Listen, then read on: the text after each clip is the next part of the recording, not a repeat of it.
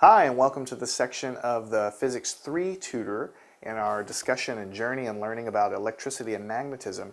In this section, we're going to begin to learn about some really core topics of all of E&M that you'll study, and that's the topic of Gauss's law. But before we actually get to Gauss's law, I want to give you a little bit of motivation, give you a little bit of a pick-me-up to tell you where we're going in the, in the course and in your study of physics.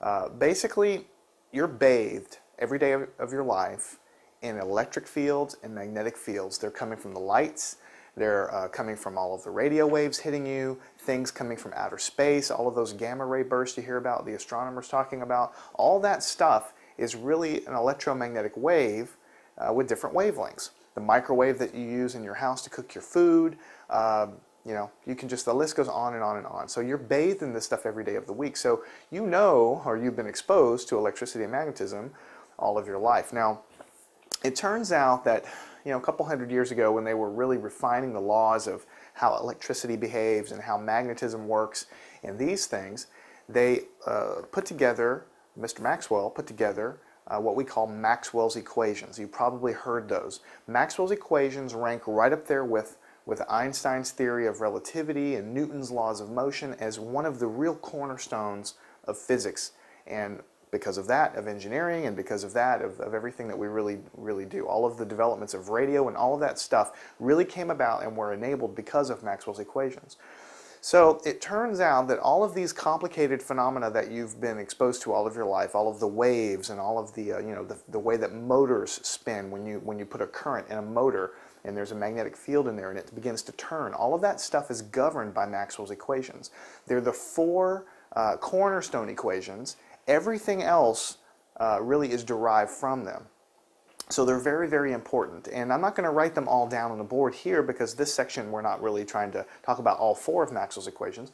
We're going to talk about just one of them, and that's Gauss's law. So that's where we're going with this. We're starting a journey where we're going to talk and, and we're going to we're going to talk about Gauss's law, and then we're going to take a little bit of a detour and talk about a few other things that kind of come from it.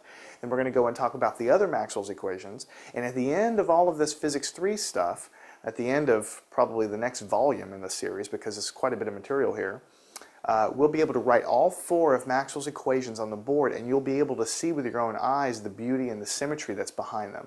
And they're very elegant in the way in which they're written. They're very simple looking too, but it turns out that that's just deception um, with your eyes there. So you can uh, derive all of the uh, equations of how electricity and magnetism behaves from Maxwell's equations. For instance, just one motivation, Coulomb's law that we talked about right in the beginning of this course. It was the very first thing we talked about, Coulomb's law. Coulomb's law comes from Maxwell's equations. Specifically, Coulomb's law uh, eventually comes from uh, Gauss's law. You can derive it from Gauss's law. So the, the Maxwell's equations are really the core fundamental, uh, how, how should I say, the top level equations. All the other stuff that comes from it, all of the force laws and the, you know, we'll learn about all kinds of little things that you can derive for electricity and magnetism, but ultimately they all really come from Maxwell's equations. So those are the cornerstone equations. So really briefly, just because I'm going to give you a little bit of motivation before we dive into this, there are four of what we call Maxwell's equations.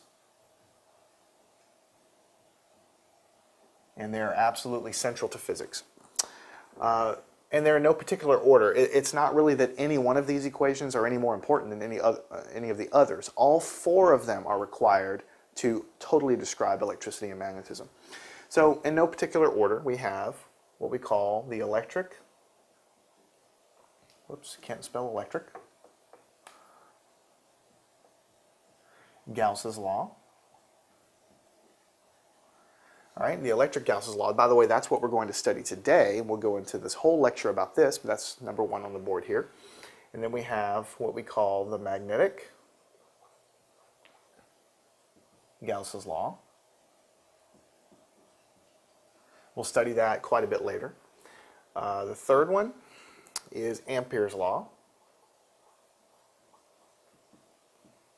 You might have heard the word ampere before because when you say something like, oh, I have a 20 amp circuit breaker, I have a 15 amps running in my wire, that's an ampere. It's a unit of current. We'll talk about all that stuff a little bit later. Ampere's law, uh, number four, is Faraday's law of induction.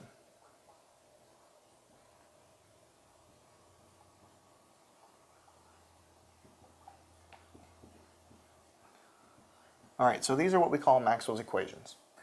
You don't really have to memorize them.